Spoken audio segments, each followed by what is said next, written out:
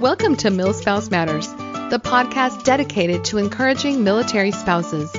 I'm Jen McDonald, and I was a military spouse for nearly 30 years until my husband's retirement. I'm also now the mom of an active duty son, a longtime writer for the military spouse world, and the author of the book You Are Not Alone Encouragement for the Heart of a Military Spouse.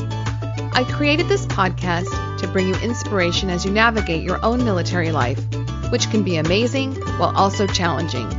Whether you're dealing with a move, deployment, raising military kids, keeping your military marriage strong, or employment issues, we're going to talk about it. Military spouses, we're only stronger together. My goal is to bring you realistic hope and support for your own mil spouse journey.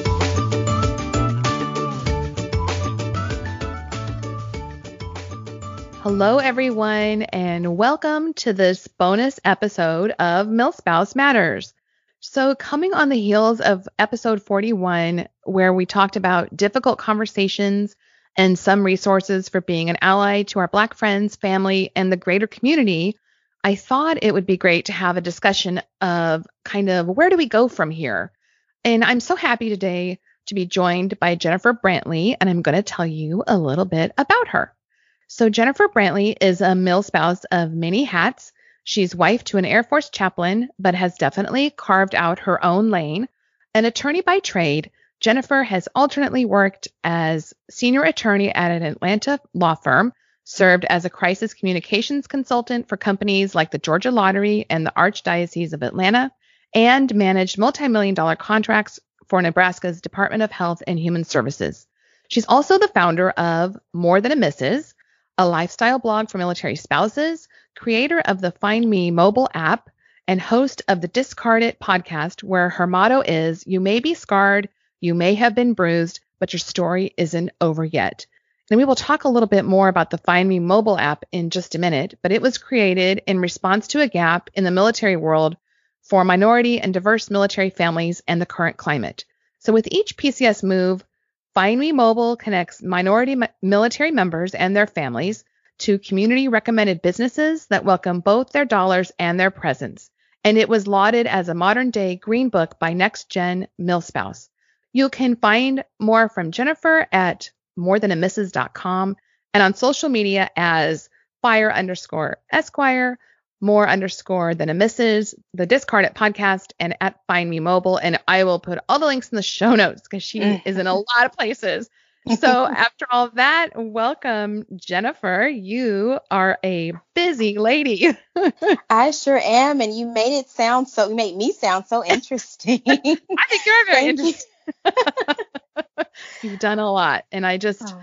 I said it to you before we started recording, but I just want to acknowledge the fact that you're taking your time to come along and share your heart about this and give some support and guidance to military spouses about this topic. I just, I know you must be tired of it in some ways, but like you said, it's an important topic. So just thank you again for coming on. Well, thank you so much for having me. I'm so happy to be here. Like you said, it is a super important topic, and I'm more than happy to have those conversations where needed. Oh, well, I appreciate it. Well, and we we talked a little bit in your intro about your husband as a chaplain. So maybe just tell us a little bit about your background with military spouse life. Oh, absolutely. Um, so as you mentioned, my husband is a chaplain. Uh, we're Air Force, Air Force family. I currently am also an employee for um, the Air Force, and we're stationed overseas. So this is our second duty station, or his second duty station. And like I told you before, we've kind of been just enjoying the travel life and uh-huh. um, you know, just enjoying that aspect of military life. And it's, I think it's growing on us. well, maybe you can get back to all the fun exotic travel once but all the quarantine. Yes, I sure hope so. How is it over there? Are they just this has nothing to do with our topic? Just curious, like, are, they, are is it still kind of on lockdown, or are you getting more freedoms, or? Yeah, so we are getting a lot more freedom. Um, things have pretty much opened up for the most part. Um, I think actually at the end of this month, things will be back to quote unquote normal okay. um, with some precautions and continued social distancing. Mm-hmm. You know, mm-hmm. some people are being more careful than most, but I think we're pretty much on par with the US in terms of opening things back up. Oh, well, that's good. Yeah, I think we're all ready to get back to normal. Well, Yeah. I kind of wanted to start with talking about your app that you created because I find it so intriguing and it's called Find Me Mobile. And maybe you could just tell us a little bit about what motivated you to create it and even the response you've had to it. Yeah, so I was motivated to create it actually last year. I was sitting in my office in Nebraska and my husband texts me and he's like, Jennifer, we're going to England. And he's a jokester. People who- Uh-huh. who know my husband know that he loves to laugh. So I thought that he was pranking me. Um, and it took a phone call for me to realize, no, this is real. We're actually heading to England after, I think we were in Nebraska, maybe a year. Oh, goodness. Um, so I, you know, immediately I'm excited. I'm looking at all the things. I'm, I'm going to Google Maps and you know, try, kind of trying to pinpoint where we'll be. Um, and I'm like, you know, I know there are certain things that I need before Mhm. I actually feel like I'm at home. So Mhm. for me, it's you know, places to grocery shop, somewhere to get my hair done. At the Right. time, I had a pixie cut, so that's a little difficult. You have to keep getting it cut, difficult to Uh-huh. maintain. And I realized that there was nothing out there that made that process easy for me. There was nothing out there that made moving to a di- different duty station actually feel like home. Mm, And the idea came to me for this, you know, for the Find Me mobile app because I figured if I felt this way, if I was having this difficulty, other people had to be in the same position and feel the same way. right. Um, so that's kind of uh, what incited the idea for Find Me Mobile. And then just knowing that military installations are often in rural locations, Mhm. um, and it's not so easy for certain needs to be met, especially for the minority community. That's kind Mhm. of what brought that to be. And thus far, the reaction has been pretty good. A lot of people have been super receptive, especially I think right now where our attention is again being focused on some perceived disparities. Right. Um, so it's it's yeah, it's been good. I've had about 500 downloads since we launched at the end. Uh, I think it was the end of April. Um, So it's been yeah, it's been pretty good. That's a good growth rate, I think. Oh yeah. So if somebody has downloaded the app, do they leave a review or recommend a place or how how do the you know businesses pop up for people using the app? Absolutely. So the listings are vetted beforehand. Um, Okay. They're all community recommended. So I kind of gathered these businesses from different Facebook groups, um, Oh. from conducting focus groups and asking people, you know, what do you recommend where you're stationed? Um, and so people, once they download the app, can actually go in. And if they found somewhere at their current duty station, they can input that listing themselves Mhm. um, as a recommendation. And yes, they can also review. So if they, you know, find a business and go and visit it, they can leave their review and say, you know, I enjoyed, I enjoyed my experience here. You know, it wasn't so great. I don't agree that, you know, this uh, listing Oh. should be in the directory. And then they can check in as well once they're there. Well, I think that's amazing that you did that. And I also love one of the places I saw you described it as a tool that allies can also use if they're planning an outing with minority friends or family, like going out to dinner Yes. and making sure everybody feels comfortable and welcome. And, uh, you know, I wouldn't have even thought of that. So, yeah, I think that's such a great idea. And I, I wish you all the best of luck with that because I think it will be very useful. Um, well, thank you. yeah. Well, I know this summer has just been kind of crazy so far. And with the death of George Floyd and then all of the aftermath of that, many of us posted, you know, a black square on social media, or we used a hashtag, or Mhm. we made a conscious effort to support black businesses or and things like that. And so I feel like we're kind of coming to a point, and I was telling you, my daughter even said, Well, now what? You know, where do we go from Mhm. here? And I know that you don't speak for everybody, but I thought you would have a perspective of some maybe some thoughts and suggestions about that.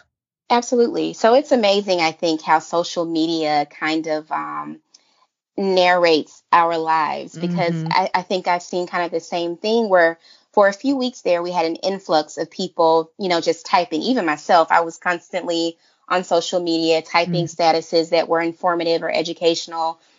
Um, I've always done that. I love Facebook Yeah. memories because I can go back and see, oh no, I've I've been talking about this Good. issue.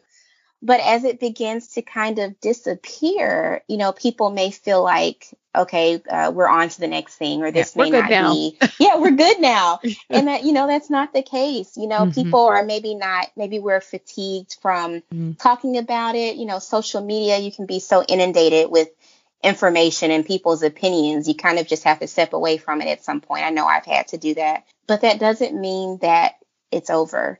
Um, and so there are some some things that we can continue to do regardless of, of social media, things that we can do to go beyond, you know, I see you, I hear you, mm-hmm. and to get to I stand with you, I speak with you. Mm-hmm. Um, and I think some of the most important things would be one, to continue just educating our, ourselves, even for the Black community, the minority community, there are so many things that occurred in history, not just Black history, but in history mm-hmm. that we weren't taught um, and didn't know about in school. So I think education is a huge piece because mm-hmm. some things were omitted from our history books um, right. and from our history lessons. So in order to really understand and to speak about things, we have to educate ourselves about, you know, what really happened, what what piece of this is missing.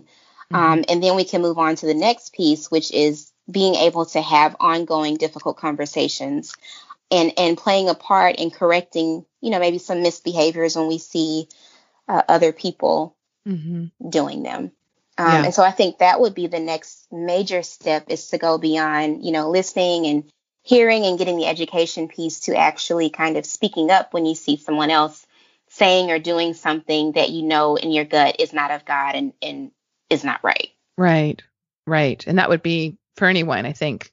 Absolutely. I, I, know that you talked about, you know, that it really is simple. I was mm-hmm. watching your military family town hall. I think that's what it was called. Yes. That you spoke at.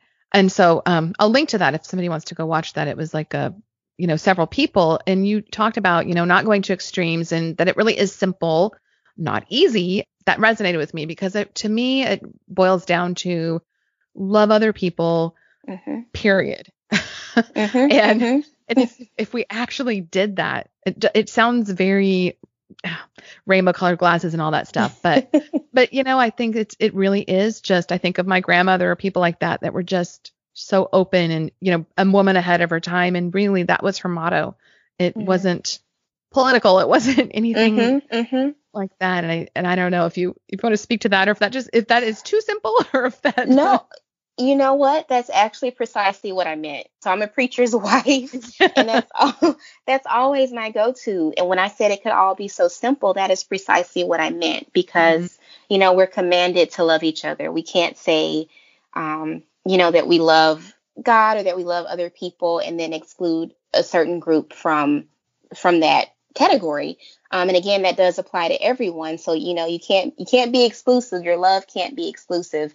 And it should really just be as easy as realizing that, yes, there are differences that exist between us, but at the root of it, it's a human rights issue, right? Because mm-hmm. we're all human. That is something that we share and that, you know, that we have in common um, and that we have to, to realize and recognize and remember and, and put that into effect, you know, into effect, even just catching ourselves when we're thinking or saying some things that contravene that and that go against that idea.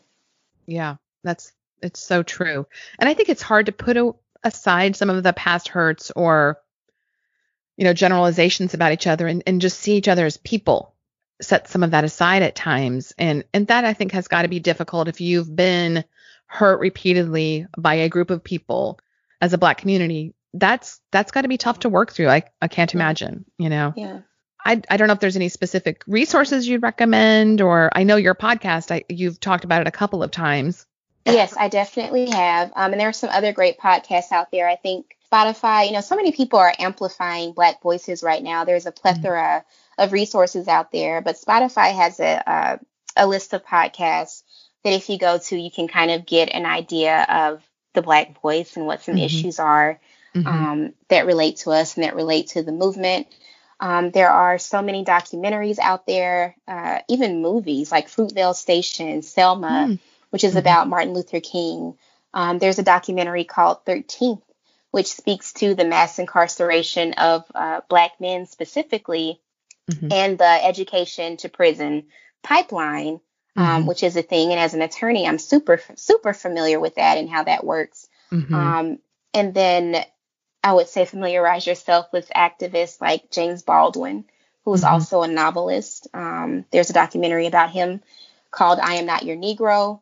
Mm. And then there are some great books out there too. I am a book reader, always have been, but How to Be Anti Racist by uh, Ibram Kendi okay. is a good one because I think it's important to realize that it's, you know, not enough for us to be silent and not to go along with those who may be being racist, but at some point we have to actively be anti-racist and right. and use our voices when we can. So yeah, right. those are some resources I would definitely recommend. And I may cut this part out, but I'm going to tell you this real quick. When I uh-huh. did uh-huh. episode 41, mm-hmm. um, one of my friends is a black pastor, and I was bouncing some stuff off of him of whether uh-huh. I should do it or not because I didn't want it to be misconstrued.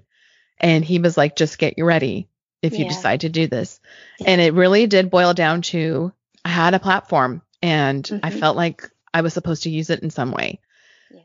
And it was and it's not like I'm so brave or so wonderful, but it was I did face a kind of a a decision like, okay, this could be totally misunderstood. This mm-hmm. could be mm-hmm. totally misunderstood that as a white woman I'm trying to tell people how to be anti-racist and you know that's not my wheelhouse you know what I mean? Yeah, or yeah. It, it came down to either way I do it. If I don't do it, I'm going to be judged. If I do it, I'm going to be judged. mm-hmm. and, There's and no just, way. there, so I was like, I'm going to do what I think is right. And he just said, yeah. you know, it's so important. Thank uh-huh. you for doing that. Thank you for being part of the conversation and being willing. Mm. Like I said, I might just cut that out because that's very, that sounds very self serving. But just. Well, no, I don't think it is. I really don't think it is at all. I think um, that actually speaks precisely to what I'm saying because we have to, you know, use our voice and use our platforms. If we have that, it's it's God given. There's a reason that we have it. Um, yeah. And what you said about I had to do what was right, I think that's the the kicker right yeah. there. Yeah, it'd have been easy to ignore it, and I everybody has to make their decision mm-hmm. that have chosen to just stay out of the conversation. And I'm like, but that's also that's also a decision that that speaks very loudly mm-hmm. to me. Mm-hmm. mm-hmm. So I'm sure people notice. no judgment, but you know, it's just it's just interesting to kind of see how everybody has handled it, I guess. Yep. yes, I would agree. The, interesting may not be the word. but yeah, I will definitely link to all the resources you recommended and check those out for you, Jennifer, I just am curious as a military spouse or even in general, when it comes down to racism and, you know, prejudice issues, what has been your biggest frustration? Or maybe you can share a couple of experiences that you've had. Yeah, so I think I've been fortunate in terms of my experience with the military community, but I have seen, I guess, secondhand some examples of uh, uh, discriminatory behaviors, um, unfortunately, in our community. And I think it's always been easiest, and that's part of my frustration, is for those behaviors to occur online oh. um, versus in person. Yeah. Mm-hmm. Just, you know, a, a, little bit of bullying. Um, I know here recently there was a young child who was on a playground um, on base playing with a, you know, a, a black child and something, you know, they were just having a conversation and she said, at least I'm not black. Oh gosh. Um, like it's a horrible, it's a horrible thing to be mm. black, and you know that's a learned behavior. It came from somewhere. Right. So you know experiences like that, and then for me, the experiences that I ha- have had have been outside of not necessarily in the military community, but you know when all of this started uh, gaining traction, I'll say I won't say when it started because it's kind of been something that's been ongoing, not kind of, it's been something that's been ongoing for hundreds of years. Mm-hmm. Um, but when it gained traction this year, I had people come to my blog page and my social media on posts that were public and say, you know, well, if you don't like it here, if you don't feel you're being treated equally, go to Africa. Oh my gosh. Yeah. And I'm like, well, first of all, Africa is a lovely place. I would love, I would love to visit. I would love to visit. And second, it's frustrating because the posts that I put out, I'm very intentional about mm-hmm. what I mm-hmm. say. I'm very intentional with my words. I'm a Christian. You know, I never and you're, want and to you're hurt. a smart lady. I and mean, I'm it's not like you're lady, just throwing you know? stuff not, out there. I'm not just throwing things out there. Yeah. Um, and I never say anything about, you know, being treated uh, wanting special treatment because that's not what the goal is here. Mm-hmm. Um, and so that's just been kind of a frustration is for people to just kind of have these ideals in their heads that even when they read something, they don't really read it. They don't really comprehend what's being said just because they're so focused on what they've been taught. Uh, they're just and that ignorant. goes both I mean, ways. yeah, it's, it's ignorant. Okay, you say it for me. it makes me so mad. like they're it just does. there to react and yeah. Uh. Yeah, yeah, and that does not help the conversation no. whatsoever. And so we have to listen to understand and not to respond. It's a cliche to say it, but you know that's been the biggest thing for me is you know pay attention to what what we're really saying. You know, pay attention to what the message really is. It isn't just about one person dying or being mm-hmm. killed. You know, it's not just about that. It's not just about physical death. It's about things like microaggressions that occur in the workplace. And some things happen and we don't even think about them. And it's just because we were, uh, we have different cultures. Right. Um, and we say these things not realizing how harmful they are. It just doesn't click with us because we didn't grow up in this other culture. So, so yeah, I think that's that's been the biggest frustration is having people who kind of hide behind their keyboards and and spew cowards. spew hate. yep, cowards and spew hate that way. Um, and then those who just aren't really willing to listen. Right. Um, because it's a waste of energy. Those are the types of conversations that are fatiguing and, and that are tiresome. Well, I'm um, curious if you if it's obviously a troll, do you just delete it or do you respond or do you leave it for other people to respond or how do you handle I, those? Yeah, so I respond and then I delete. my husband is like, Jennifer, don't respond. But I, I can't help to. it. I have to. I can't help it. yeah, yeah. So I respond, but I respond and I give all credit to God and kindness every time. There have been a mm-hmm. couple of times when I've had comments that were really uh, out of the way, extremely rude. And I had a, you know, just a little flash, little blackout for, sure. for a moment, mm-hmm. um, but quickly came to myself and responded, you know, well, I don't remember what I said, God loves you or something like that to this one person. And uh, they were like, you know, keep your God to yourself. We don't we don't want you. I'm like, well, he loves you anyway, and, and you're you, blocked. and you're blocked, okay? but at least I said it, and you know, I didn't give you what you wanted, which was to get a rise out of me. Right. Um, you didn't get that, and I gave you love in return to your, you know, whatever caused you to react that way. To I think the person that responded I had that conversation with, I just commented on a post that said, I feel hurt right now. And their response was, oh, you know, F off. And then okay. I'm like, oh, well, God loves you. And, the, and then that conversation happened. wow. Yeah. People will just, uh, social media is that double edged thing. It's like so wonderful, but then so awful too at the same mm-hmm. time. Mm-hmm, yeah. Mm-hmm. Well, that's. I think you responded better than I would have. That's. Well, thank you. well, and on the along those lines, like, are what are you seeing that's working? Maybe in, in, your spouse community or even online, are you seeing things that encourage you as far as this whole conversation goes? Oh yeah, definitely. Uh, so a lot of spouses, in particular, have approached me for to have group discussions Mm-hmm. Um, so we've done a few of those and they've been really great where people have come with open minds and we've just kind of talked issues out. Mm-hmm. Um, seeing people not be afraid to ask questions. Yeah. I think that's a really big thing um, because sometimes we're afraid to ask questions because we don't want to say the wrong thing or we don't want to seem like mm-hmm. we're uninformed. Um, but if you mm-hmm. don't ask those questions, you won't get the answers that you need. You won't find out more about the Black community and you know what we've experienced so yeah, I would that that's what I would say. Oh, that's good. And and I I like that you are open to it because I think people are not afraid, but they're they are hmm, maybe don't want to say the wrong things. They feel like there's mm-hmm. already been so much harm done, and they don't want to word things wrong, or they don't want to use terminology that's not correct, and so they might not say anything. Yeah. And I I think you know just being open and honest and trying to be helpful can go a long way. I, I think for most people. I mean, there's going to be some people that are annoyed no matter what you do.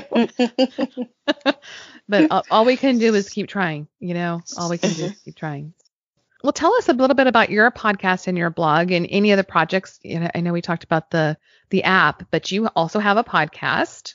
Yes, I do. So my podcast is called the Discarded Podcast, um, and it's spelled discard it it, mm-hmm. but pronounced discarded. um, because it, it definitely talks about what it feels like to feel that you have been discarded. It isn't just for military spouses, but I think it's applicable to us because oftentimes, you know, we feel that we have been kind of put to the wayside. You know, it's difficult for us to find employment with every PCS, and then just generally to feel that you do not belong. Mm-hmm. So we kind of tackle those issues. You know, what do I need to let go of in order to reach the next page in my own life story? Mm-hmm. Um, and we talk about ways to realize that your story is is important. You should never diminish it or minimize what your story is, um, or feel that you're not important or that you're an imposter. And we talk about ways to kind of overcome those self that negative self talk um, and that doubt. And I have different guests on, and we kind of talk through those issues, including therapists, military spouses who have done great things. And then I also have More Than a Mrs., which is a more general blog where I just talk about tips and tricks for being more than other people say that you are. So being more than just a military spouse, that one is military spouse specific, yeah. and being more than someone's wife because you are so much more than that mm-hmm. um, and and just ways to get people to see that and ways for you to remind yourself that you are more. Oh, well, that's awesome. And I hope listeners will go and check all of that out. I'm just kind of in awe. I'm thinking you're an attorney and then you're also doing all these things on the side. That's what made Tiring. you decide to start a, a podcast? just felt called. I, I, did. I just felt called because um, I've always been an orator. I love public speaking. Um, and even here, once we got here, I was holding different events, uh-huh. you know, and trying to get mil spouses to come to come out and convey these messages that I feel, you know, that the Lord gave me words of encouragement. I'm not a preacher, that's my husband, but you know, I do have a message to get out. And I'm like, well, a podcast would be an easier way versus trying to have events, especially here in England. It's so difficult for oh. people to get around. So I'm like, yeah, just podcast. We can record yeah. it. People can listen. can listen. When, it'll be you know easy. when they can. right. It'll be easier. I think as um, long as you have a message and feel that calling, because I because yeah. I've done mine now for two years and I've taken a couple of breaks, and uh-huh. I'm like, as long as I feel that someone's needing to hear it, and I'm hearing back from people that it's worthwhile, and I feel that call, I'll keep doing it. You know, because yeah. you kind of can't help yourself, mm-hmm. and as long as it's useful. yes, that's that's the key thing. As long as it's useful. Yeah. well, I think it's incredible, and I really would love for you to come back on another time and just come back on the podcast and talk some more about other issues too. Um, did you have anything you wanted to add to our talk today, Any, like resources or anything like that that you didn't happen to mention? Uh, I don't. I don't think so. I think that we covered pretty much everything. I think um, it's important for everyone out there just to remember, you know, we're all different. We should embrace those differences on all sides um, and realize that we do all have these implicit biases. So everyone has those, you know, and don't feel that this is exclusive to you. It's something that everyone has. Um, and we're highlighting this particular issue right now. And I'm so grateful for everyone who has come to the table and been part of the conversation. And I just encourage you to continue looking for resources and ways to learn more yourself, not just about the Black community, but about other minority communities, um, the struggles that they've had, and just educate yourself on the hidden history. Right. Um, and I think that that would help so much when it comes to having these discussions and talking about the hard things. Yes. Well, thank you again for coming on and sharing. And listeners, remember find her at morethanamisses.com and we'll link to all of the places she's on social. She's lots of places and has lots of good information. And I loved the series of posts you put out, you know, this summer. There's just a lot there. So everybody go and check that out. So thank you again, Jennifer, for taking your time to come and share with us. Thank you. Thanks for listening to the MilSpouse Matters podcast. Connect with me at milspousematters.com or on social media as at milspousematters. You can find my book, You Are Not Alone Encouragement for the Heart of a Military Spouse, on Amazon and other booksellers. Love the show? Please leave a five star review in whatever podcast player you're listening, and then share it with someone else who could use it too. Until next time, have a great week.